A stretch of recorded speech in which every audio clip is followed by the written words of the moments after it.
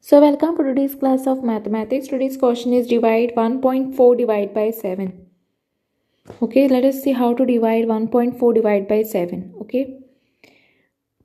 So first what you'll have to do is write down 1.4 divide by 7. Now basically this is equal to what?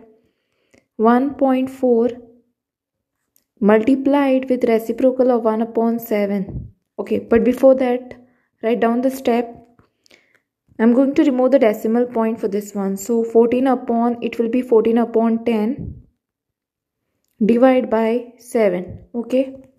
So what i have done over here is i have removed the decimal point. Okay? So it will be upon 10 divide by 7 now 14 upon 10 divide by 7 you'll have to do. So first write down 14 upon 10 as it is.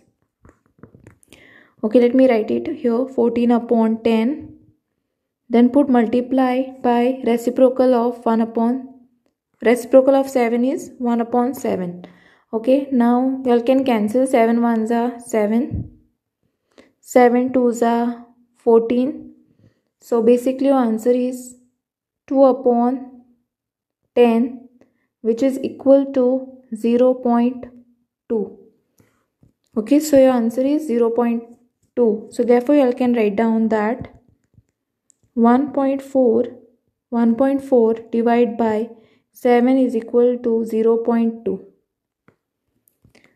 okay so i hope you have understood how to divide the number with a decimal point and without a decimal point. And thanks for watching